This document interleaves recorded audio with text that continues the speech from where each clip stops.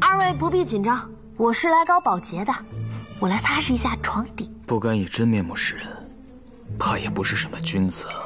公子，这你就不懂了啊。在将来，戴面纱出门是流行的一种趋势。哎，我这还有醉仙楼花魁的签名款，我给你拿一个啊。哼，胡说八道。西风，此间之事不可让外人知晓，不要留活口。是，现在就动手。大可不必，那个 不必劳烦大人亲自动手，我马上自我了结，给两位助助兴。他胡说，动手！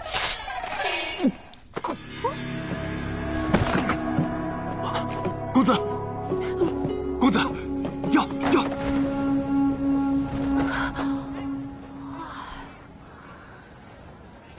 堂堂慕容府的二公子，原来是个病娇啊！